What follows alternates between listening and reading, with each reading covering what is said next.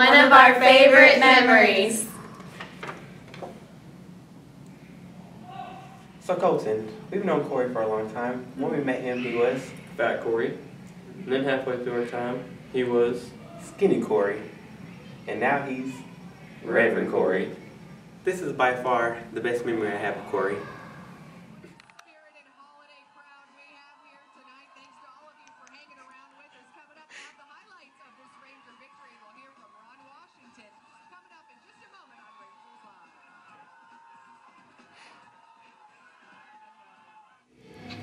Wait, retake it.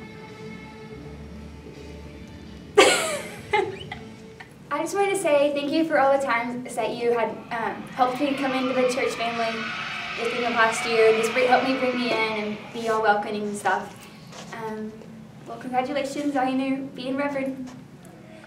I just wanted to say that um, that we go to Cory's and have great fun and play Just Dance. That I like the fire one and um and and I like that we we can do what we want to do with God and be helpful and pray for everyone. hey Cory, how you doing? Good. Oh Cory, we've been through a lot together. Like that one time, I know Grant doesn't remember this because he wasn't born. but that was.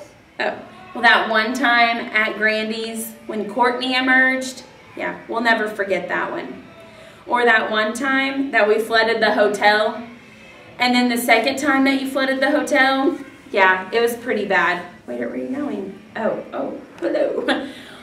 And, you know, I'll never forget all of the Just Dance, the things that have happened at your house.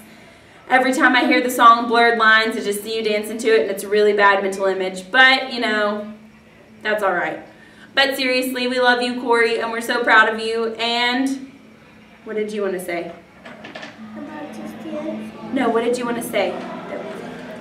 Um, we thank God for Cory and that we just play Just Dance and that um, we play each one that I like to fi- play the fire one and the um and the cow one and that we thank God for Cory that um that we play games and have lots of fun. Amen. Amen. We love you, Cory. Uh, hey Cory, uh, I just wanted to say uh, congratulations on your license and uh, thank you for being like a big brother to me. As long as I've been coming to this church, you've really made it uh, just a better experience. And thank you for just teaching me more about God and making me uh, a guy that is faithful in everything. So thanks.